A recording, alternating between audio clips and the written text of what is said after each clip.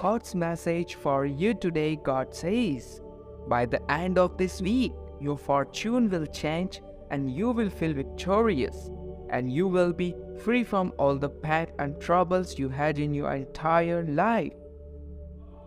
Something great will happen for you this week. The entire universe is working behind the scenes to surprise you in the most beautiful and unexpected ways.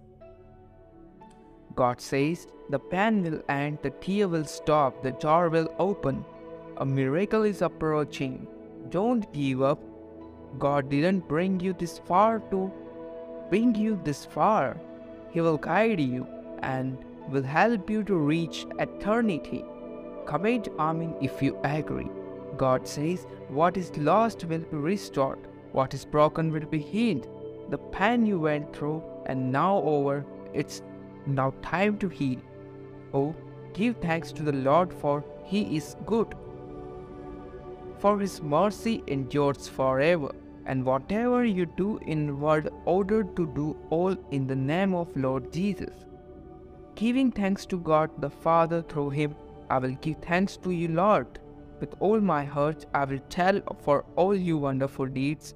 Thanks to be good for His indescribable gift.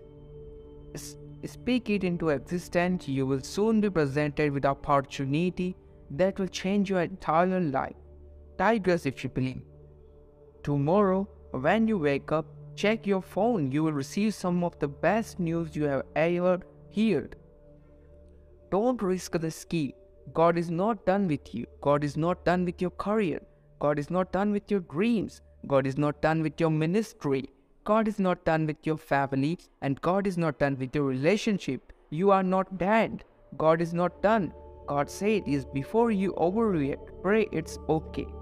God is saying to you tonight, every mountain and every stronghold that is delaying your progress and your dream is being removed with right now. Your hope will be restored, your expectations will be maintained, blessings and miracle will come into your life. Pray then, let it go. Don't try to manipulate or force the outcome. Just trust God to open the right doors at the right times. Amen. God, I want my life to make you known that to people around me. Give me the courage to live generously. Let me actions filled with humility and love so that they bring your glory and draw other close to you. Jesus' name, Amen.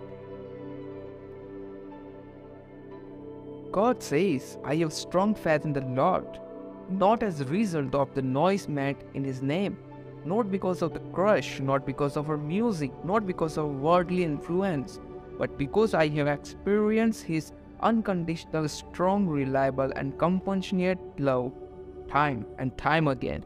God says, rescued me from my onwards darkness, and that's why I believe I have faith. You are the part of eternal family that will never end. My love for each member of my family is infinite. Do not be afraid for the future or what lies ahead of you. Instead, let me be with you in every step of your journey. Like this video if you believe. You are my beloved child. In you I see reflection of my love for others. You are precious to me and you are most important person in my world. I want to know that I will never leave you alone, not forsake you. I have sent many people your way who can help you.